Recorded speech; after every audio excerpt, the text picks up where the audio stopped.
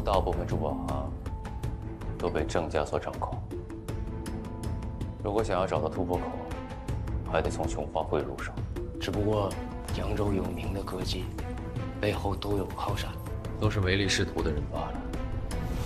没有人是用钱打动不了的。苏慕遮见过白教书，若是白教书带上这副罗甸护甲数弹琵琶，一定会在琼花会上一绝风华。白教书若想夺得花魁，我真狼阁愿倾尽全力相助。想凭十片护甲，便要糊弄我们扬州花魁？未免有些太天真了。你就是敢把主意打到我阿娘头上的小货郎苏慕遮？你一个初到扬州的小货郎，能玩出什么花样？我能玩出什么花样？拭目以待。好，拭目以待。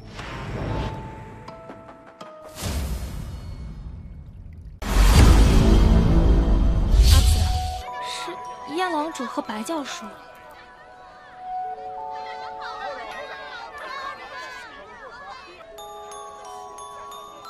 真狼阁找我有何事？我家狼主愿出资三千万钱，请你退出本次琼花会，别不识抬举啊！只要我在扬州一天，就定要让郑家一日不得安宁。有点意思啊，苏慕遮。为了拦我，命都不要了。想必大家已经急不可耐，想要一睹今夜歌妓的芳容。五郎君想必也听说了，燕子京要捧百鸟为芳，而我想帮环郎。若此事五郎君愿意答应，苏慕哲愿意为五郎君经营私产，以作报答。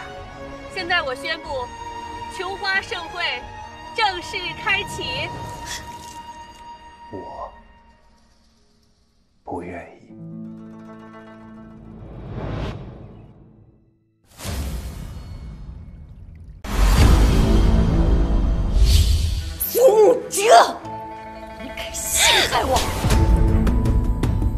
来陷害一说？若是你答应了我的邀约，我赠上的便就是最为珍贵的罗甸琵琶，而你呢，行径如此剽窃之事，丢人至极。